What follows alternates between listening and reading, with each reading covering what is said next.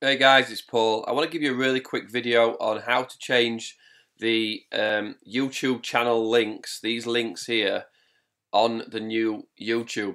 Uh, this is particularly for people who have come from that Twitter video that tells you how to make it a Twitter icon, not a Twitter globe, not a globe for Twitter, which I'll show you how to do that as well.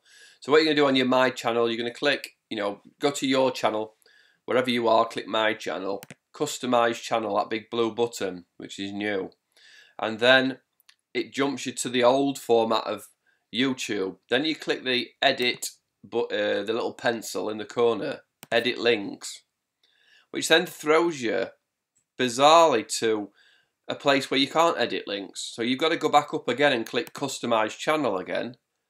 And then it goes to the edit links page. So that's where people are going to be falling over. So what this fix was, was this link here. If you put uh, it looks like it's been fixed actually. If you put HTTP, oh no, I did it on Facebook, didn't I? If you put HTTPS on your Twitter link, which is what you've copied from Twitter, you get a globe. You don't get a Twitter icon. That's when if if you go, if I went to my Twitter, uh, Paul Nicholson Go right if I went to my Twitter and just copied that link, which it would make sense for you to do, you would go edit links and then you would paste in that link.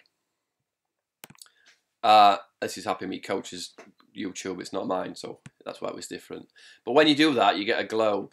So what you need to do is click edit. So I'll do it again. Let me go. You're going to go to my channel. So you've come to my channel You've got hey your, guys, you either you've either got your icons or you haven't, and you've got up here a globe, which is annoying for Twitter. And luckily Instagram just fixed it. You're going to go customize my channel, customize channel.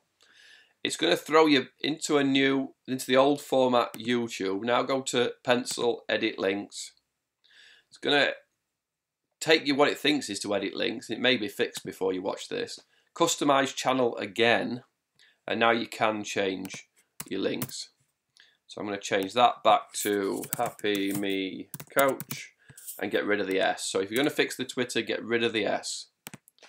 And that will change that back to a link to a Twitter Tweety Birdie thing.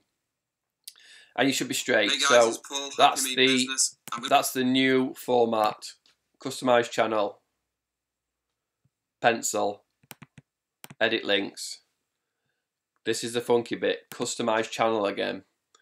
And that's when you get to those links. All right, any questions as always, um, leave them below.